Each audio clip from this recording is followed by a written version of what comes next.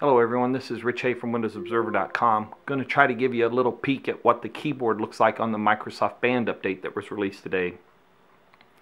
Uh, so once you've got it all set up and ready to go, you just go to Settings and then you'll find an icon right there on the between Bluetooth and airplane mode that looks like a keyboard and it's a tutorial. So if you're ready to get started, you just tap get started and it says to type the phrase have fun. And then it points the way to the keys to kind of direct you. There's a space button over to the left.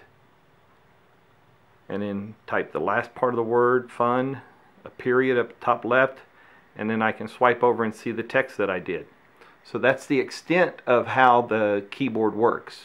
And you'll able to interact with any text messages that come across.